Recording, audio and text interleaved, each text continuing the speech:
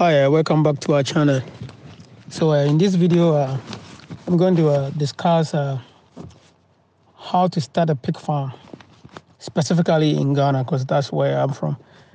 So I'm going to be giving prices and you know what to expect whenever you starting a pig farm in Ghana. You know, because I've I've have uh, I've had a little a few people ask me about it, like how much it will cost to build a structure, how much the land will cost, and all of that.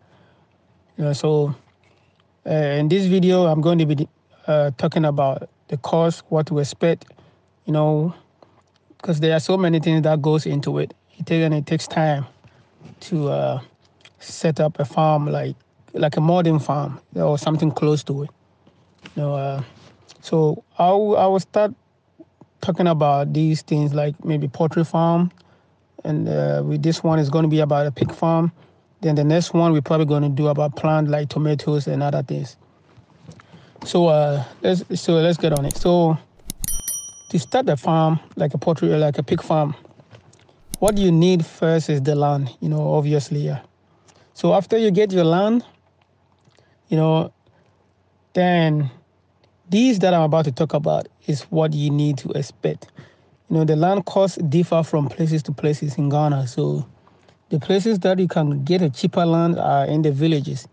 If you get closer to the city, the more closer you get to the city, the more expensive your your land is going to be. So and the location will also determine like the the prices of your pigs like if you have to sell them whenever it gets to time for you to sell them you know yeah so let's say you're trying to build a pig farm about the size of uh, 50 by 150 which will be pretty good size to keep a lot of pigs in there. You know after you build them you divide it.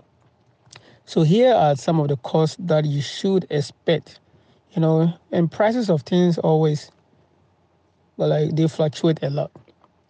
You know so i'm going to be basing all of these on my experience and how i did mine. So on the pig farm before we started we, we got the land but whenever you get into build the structure part that's when all the money comes in you know because it's going to cost probably because the money has changed. But anywhere between $15,000 to about $20,000 to get that structure done, like 50 by 150 structure. You know, to get your your roof, you know, the mason work, the carpenter job, you know, the the the plumbing work, you know, getting light in there for the pigs, getting the water, uh, the water lines fixed and all that. You probably spend about that much, anywhere from fifteen thousand to about twenty thousand dollars. But I'm not saying that that is the only way to do. You can always you can always use local staff to do your farm. You know, like I always prefer that. I always advise people to start small if you want to. You know, start with like a bamboo, those things you can do that. You know, then gradually you build up. You know, because uh, once you get once you get the land, let's say you figure out you put your building on it, there's always going to be the other cost too that you have to consider. You know, buying the pigs to put in there. You know, on my side, I started with 10 pregnant pigs. So 10 pregnant pigs, they are very expensive compared to buying a piglet, you know, or maybe buying a just a, a female pig, a pig without is not pregnant. You know, so I bought my pigs for close to about 300 $300 each. They were all pregnant.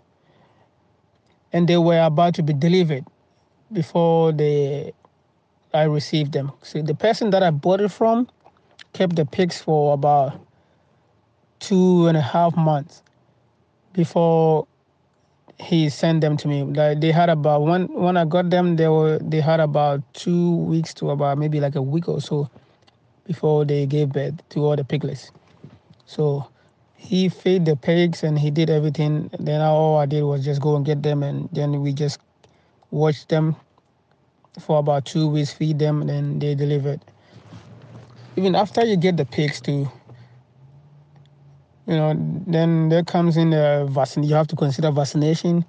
You know, you have to consider the the people going to work over there. You have to feed. You know, like it's either you're going to have to uh, find a structure for them to live in on the farm, which which means you have to build something on the farm for them to live in. You know, and uh, you know, something like building a structure for somebody to live in. Let's say like two rooms will be enough, but you know, let's say you want to visit over there and you want to be over there to like at least spend some nights over there, you will need another room so I would prefer like maybe three to four rooms on the farm. You know, I mean, you can build a farm and forget about it, like, and just get people living in the the village to go from their houses and go and watch them all the time. But if you leave your farm unattended for a specific time, people might go and steal all the pigs. You know, so it's better. My advice is it's better to get a house on the farm for people to live over there. Then you don't have to worry about theft, you know. Because after you spend all that money building and getting the pigs in, then somebody comes in because there's nobody around and steal them all. But if they know that there are people living over there, nobody is going to bother to come around. Yeah. So those are some of the things, you know, that you have to consider whenever you're trying to start a pig farm. And the other thing is, you know, you have to look at the market, you know, like if it's going to be good enough for you. You know, because pig prices differ from country to country. You know, because uh, and uh, even in Ghana, the prices of pigs kind of differ from one one uh, city to city you know. And uh, also you have to consider the feed, you know, because you have to feed the pigs for them, and you have to feed them quality food so that they can grow faster and healthy, so that you can make more money from them. Because whenever you get pigs, you have to make sure that those pigs, like especially piglets, you have to make sure that within like about five to six months, those ones that you have to sell will be ready to sell. Otherwise, you will spend a lot of money feeding the pigs for a very long time. That's why it's good to have a balanced diet for them. You know, so you have to put all of these into consideration. And the feed cost, you know, like a thousand tons of feed in Ghana right now ranges from about a thousand Ghana to about fifteen hundred Ghana, Ghana cedis. So in dollars, I'll probably say maybe about I don't know, two hundred and fifty dollars. I'll have to double check that. and the a thousand tons of feed will probably feed about maybe a hundred pigs for about a month. If you have the balanced diet, like I'm saying, if you have a balanced diet, because after you get the let's say the corn and the maize bran and all that, you have to add in like uh, proteins and other stuff like soya beans or concentrate, whatever you have to add to it to make it a balanced diet. You know, so you have to consider all of that. And you know, somebody might might ask like, so how much can I make from doing uh, pig farming? So if you want to start a pig farm, don't expect to get money within within a year, like to get any profit. You know, unless you are starting with a large quantity of pigs. You know, maybe you buy like maybe uh, 200 pigs right off the bat, then fine, that you can make money within a year. But if you're starting small, like with like mine, like 10 pigs, uh, pregnant ones, you know, you have to feed them and build your, like the, the quantity of your pigs. Because they have to give birth and the ones that they give birth to, they have to give birth to, you know. Because after the first year, you probably start looking to sell some of them. You know, so mine trick or what I do is whenever my pigs they give birth, you know, we try we try as much as possible to make sure that the, all the male will be ready to sell after six months. You know, but then again, as in, in anything, there's always going to be something that comes up that you did not expect. You know, and I like myself, I, I learn as as I go. You know, because you learn something new every day. So most of the times, like whenever somebody asks me that they want to start a pig farm, I give them my advice, like things like things from my perspective and the things that are like the troubles or those things that I went through, so that they don't repeat my mistakes. You know, so yeah, so if you're trying to be to make money off of pigs, just put it in your mind that maybe in about a year or two before you start making profit from it. But there's another option to this pig farming thing that uh, I've seen that most people don't do, especially in Ghana. So instead of buying pregnant pigs and all of that to raise them, you can actually go around and buy piglets.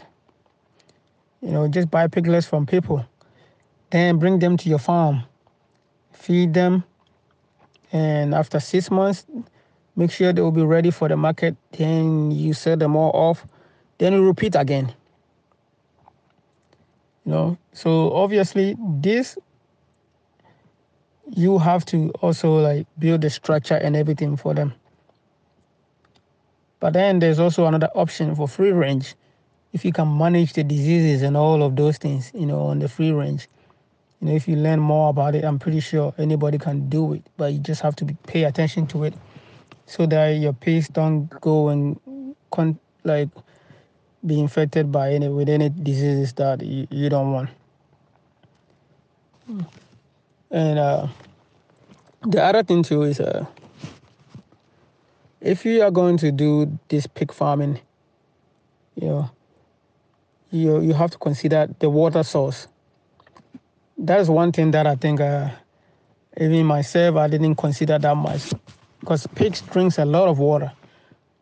So we had to do two boreholes over there before we were able to provide enough water for the pigs. You know, after the boreholes, you probably need a tank for storage to to get the water to the pigs, their pen. So basically, you can't just get up one day and just say that, oh, I'm going to do a pig farm without doing any research. You have to, because otherwise you will run into trouble down the way, uh, like down the road. See, so before you start, just make sure you have all your finances in place. You know, research about the the the kind of pigs that you want because there are different different breeds of pigs. You know, some of them grow very fast, others grow very very slow, or those that grow slow, they might give you more piglet. It's kind of different. There's different pig pigs to choose to choose from. It's up to you. Anybody, like you just have to go and do your own research and figure out which one you want to. So coming back to the cost aspect of it, I'm just going to summarize it. So you can either build a modern structure for your pigs, which will cost you a lot of money, about anywhere from fifteen thousand to about twenty thousand dollars, which I'll probably say about a hundred and hundred and forty thousand Ghana cedi, right about there, maybe like a hundred thousand Ghana to about hundred and forty Ghana, forty thousand Ghana will do. But if you want to use the local materials like bamboos, like a raffia, like uh, any trees, anything that you can find over over there, you can do that and start slowly. You know, those ones will cost less. You just have to figure out how to like plan plan how to make it fit how you want it. Yeah, and uh, the other thing too that uh, people might ask is maybe the the uh, how like how much you pay the people working over there. That is up to you. You will decide, you know. And then again, if you don't pay your workers right, they might just go and find a, a different job somewhere.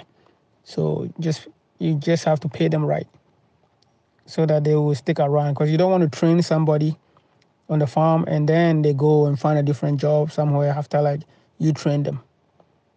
You know then you just wasted your time. So so these are the things that i i will consider whenever you are starting the pig farm. You know obviously there's going to be challenges like as it is in every any business. You know something might creep up that you did not expect. So that's why you always have to do your research and also ask people who are doing the, the kind of farm that you want to do, you know, then just learn from them. Then you just go on and do your and do your farm. So if anybody has any question, you can ask me, and I'll give you a, I'll give you some tips on it. You know, even locations, and if you want to get a land, all those things. Different places have different prices for the land for farmland. So in the next video, I'm probably going to be talking about uh, a poultry farm too. And uh, in another video, the next uh, the video after that is probably going to be about crop farming. You know, because all those I think I have basically done all these three before, so I kind of know what to expect. You know, and also I know what not to do so that you don't go into trouble or into debt and all those things you know because for instance for the pig farm if you are buying the pregnant pigs you know you're going to have to feed them buy feed for about a year before you start making money off of it. So you have to consider all of that the feed costs and all of those things you know because it, it's not just it's just not a overnight then you make profit. In poultry farm is a different thing. So uh, whenever we uh, get there, I will explain the difference between the poultry farm and the pig farm. Between those, like which one can bring you money, like profit faster. So thank you guys for watching these videos, and uh, if you have not subscribed, please subscribe to our video, our channel, and then like the video and share it. And uh, we'll see you guys in another video. Thank you.